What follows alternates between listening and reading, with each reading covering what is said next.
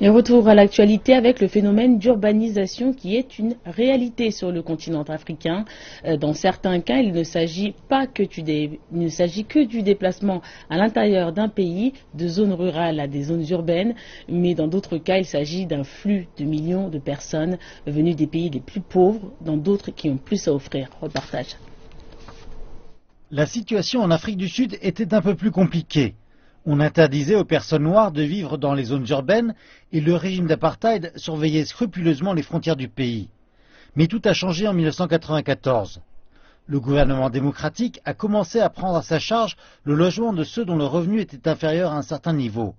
Cela faisait partie du programme d'urbanisation. À ce moment-là, les autorités ont calculé qu'il fallait 1,1 million de logements. Une fois que les vannes ont été ouvertes, de nombreuses personnes qui vivaient dans les zones rurales, pas par choix, ont commencé à migrer dans les villes. Et cela a contribué à la difficulté de gérer le flux entrant. Un autre facteur est le fait qu'à partir de 1994, de nombreuses personnes originaires d'autres pays africains sont aussi venues en Afrique du Sud dans l'espoir de profiter de meilleures opportunités économiques ici.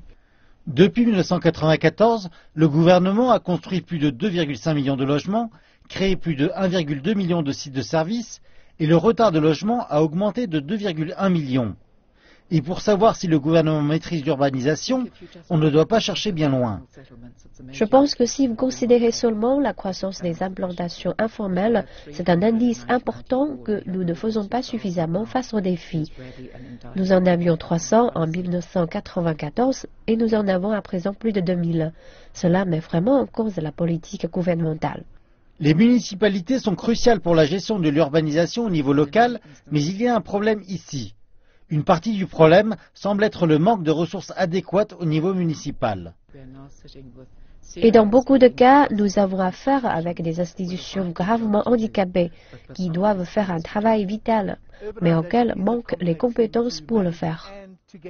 L'urbanisation est une chose complexe à gérer et à rectifier. Et si vous n'avez pas les bonnes compétences ni la bonne expérience, cela devient de plus en plus difficile. C'est quelque chose dont le gouvernement sud-africain semble essayer de s'occuper, mais sans beaucoup de succès.